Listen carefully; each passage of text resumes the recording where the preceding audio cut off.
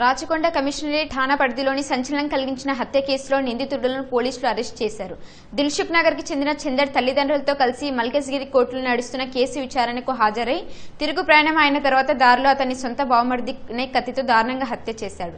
మృతుడు చందర్ తల్లిదండ్రులు ఇచ్చిన ఫిర్యాదు మేరకు విచారణ చేపట్టిన పోలీసులు హత్య చేసిన వినయ్తో పాటు మరో ఆరుగురిని అరెస్ట్ చేసి రిమాండ్కు తరలిస్తున్నట్లు తెలిపారు. నిందితుల వివరాలను మల్కజ్గిరి డీసీపీ ఉమామహేశ్వర శర్మ వివరించారు. దారుణంగా పొడిచి చనిపోయాడు అని కన్ఫర్మ్ చేసుకుని అప్పుడు వెళ్ళారు అక్కడి నుంచి వాళ్ళు. వెళ్ళిన తర్వాత దగ్గరలోనే వాళ్ళ బంధువులు ఇల్లు ఉంది. మళ్ళీ ఈ లోపల ఇక్కడ వీళ్ళున్నారు. ఇంకొకటి ఎవరంటే మీకు తెలుసు.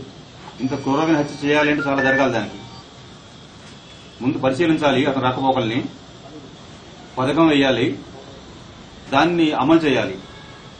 చేసిన తర్వాత అక్కడి నుంచి పారిపోవాలి. ఈ నాలుగు భాగాలు కూడా వీళ్ళు చాలా బాగా చేశారు.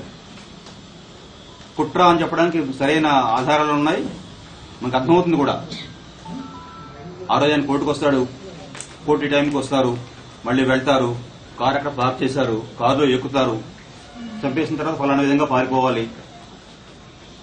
చచ్చే వరకు మనం ఖచ్చితంగా మనం కన్ఫర్మ్ చేసుకోవాలి. ఇవన్నీ చూసుకుని చేశారు వాళ్ళు. దీంట్లో ఇప్పటికి ఏడుగురు అరెస్ట్ చేశాం. ఈ నవీన్తో సహా. నవీన్ మిగిలిన చెప్పిన ఐదుగురు వీళ్ళు పేర్లు అక్కపల్లి విజయ్. ఇతను మల్కాజిగిరి వాడు ఆనందాగులో ఉంటాడు. దబీల్పురా హేమంత్. ఈయన బండ చెరువు సఫిల్గూడలో ఉంటాడు. శుంకర సతీష్. ఈయన కూడా ఈస్ట్ ఆనందబాగ్ నివాసి మన మల్కాజిగిరి నివాసి. రామగోళ్ళ భరత్. ఇతను ఈస్ట్ ఆనంద్బాగ్ మల్కాజిగిరి ఉంటాడు. పుట్ట బాలకృష్ణ అలియా చింటూ అంటారు ఈయన్ని. ఈయన కూడా ఏదో salesman at Lakshmi communication centre అట. ఆయన అక్కడ సంతోష్ నగర్లో ఉంటారు సికింద్రాబాద్లో ఉంటారు. ఇక్కడ ఇక్కడ నేరడిపేటలో ఉంటున్నారు ఆయన సికింద్రాబాద్ ఆయన. వీళ్ళందరూ కలిసి డబ్బు గురించి ఒక ప్రాణాన్ని నిర్లక్ష్యం తీశారంతే. ఇది మంచి సంస్కృతి కాదు దీన్ని ఏ- ఏ ఏ విధంగా క్షమించం కూడా. వీళ్ళని సీరియస్గా తీసుకుంటున్నాం. ఈ కాన్స్పిరసీలో ఇంకా చాలా మంది ఉన్నారు. వాళ్ళందరినీ కూడా అరెస్ట్ చేస్తాం. ఇది ఒక హెచ్చరిక ఏమిటి అంటే ఇది ఈ కల్చర్ ఇక్కడ పనిచేయదు. హైదరాబాద్ సిటీలో రాచకొండ పోలీస్ కమిషనర్ ఈ కల్చర్ పనిచేయదు.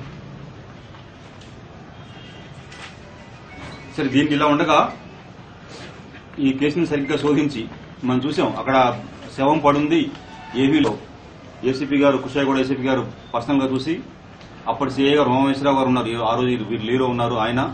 వచ్చిన తర్వాత ఈయన. చాలా కష్టపడి వీళ్ళు పట్టుకున్నారు.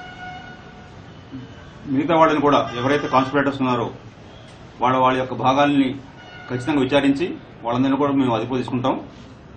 నిన్న ఈ ఏడుగురిని కూడా కీసరగుట్ట దగ్గర పట్టుకున్నారు. పట్టుకుని ఇవాళ రిమాండ్ చేస్తున్నాం. వీళ్ళ దగ్గర నుంచి కొన్ని కత్తు రెండు కత్తులు